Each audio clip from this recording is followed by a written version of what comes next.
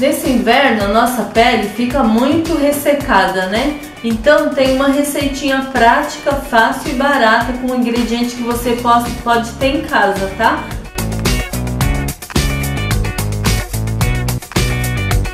Então nós vamos precisar de meia banana, qualquer banana, tá? Se for a prata, uma bananinha, se for a nanica, meia.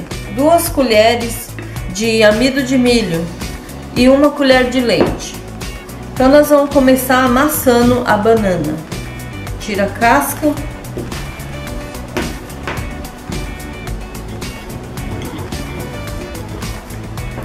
A banana ela tem complexo vitaminas do complexo B. A também. Muito boa para a pele.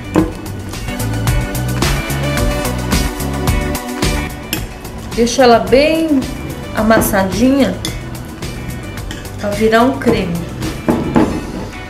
Aí nós vamos colocar uma colher de sopa de leite.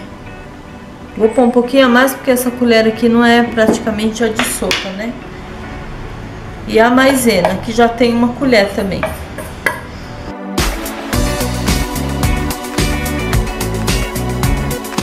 Tá bem misturadinho os ingredientes? Essa pastinha aqui você vai passar no seu rosto. Olha minha pele como tá. Vamos ver se essa máscara funciona mesmo, né? Ela promete hidratar e deixar a pele bem aveludada. Você vai passar essa máscara após você ter lavado o seu rosto e esfoliado, tá? No rosto seco, limpo e seco. Aí você vai passar em movimentos circulares no seu rosto todo.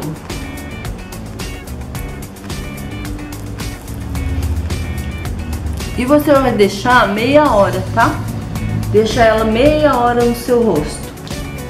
Passamos a máscara, vamos esperar meia hora. Essa máscara vale mesmo, viu? Ela deixa a pele hidratada, renovada, rejuvenescida. Então, para vocês verem a diferença do começo, quando eu comecei sem nada no rosto, só com o rosto limpo e agora, ó.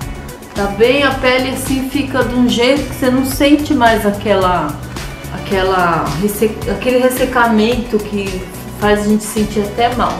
Então valeu, viu? E vai um combo aí pra vocês, ó, de uma receitinha de sabonete esfoliante, tá?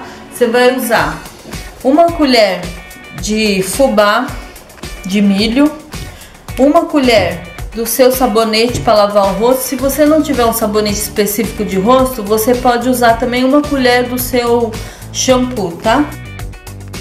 Uma colher de mel. Você junta tudo isso, faz uma misturinha e esfolia o rosto e lava. E depois você aplica essa máscara, tá bom?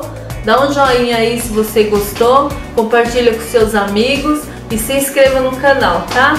Tchau, até o próximo vídeo.